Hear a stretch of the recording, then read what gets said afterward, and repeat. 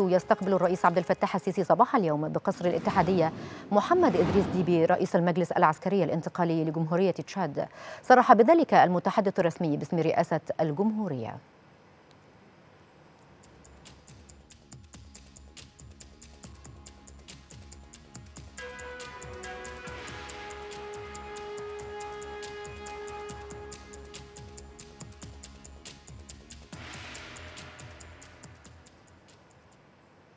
نعود ونكرر بأنه ورد إلينا هذا النبأ العاجل حيث يستقبل الرئيس عبد الفتاح السيسي صباح اليوم بقصر الاتحادية محمد إدريس ديبي رئيس المجلس العسكري الانتقالي لجمهورية تشاد.